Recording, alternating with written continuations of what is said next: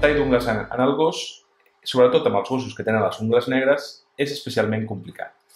Els que tenen les ungles transparents, veurem a través de la, de la, de la ungla el vas que normalment arriba cap al voltant de mitja ungla. En aquest cas, que és negre, és més complicat. Llavors, com no veurem el vas, què ens hem de fer? Una línia imaginària entre el coixinet i la ungla. De tal manera que podem assegurar que tallar aquest nivell no correria cap, cap tipus de perill. Veiem? Doncs, en aquest cas, a dintre, no m'ha arribat encara a arribar al baix.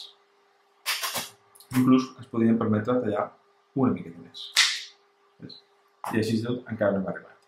Aquesta seria un tamany adequat per tallar la ungla d'un gos. En aquest cas, les altres, veus?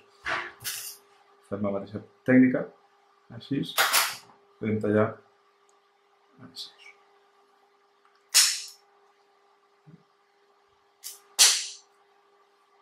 Aquesta és evident que ja, ja està en bones condicions. És important disposar d'una bona eina que puguis fer força i un tall sec, perquè és el que menys mal li fa al gos. Perquè ja que si anem amb una eina més fluixa o amb por, el que farem és tallarem la, la ungla a la meitat, provocant-li més malestar al gos i que es quedi la ungla sense tallar i l'haguéssim fet mal.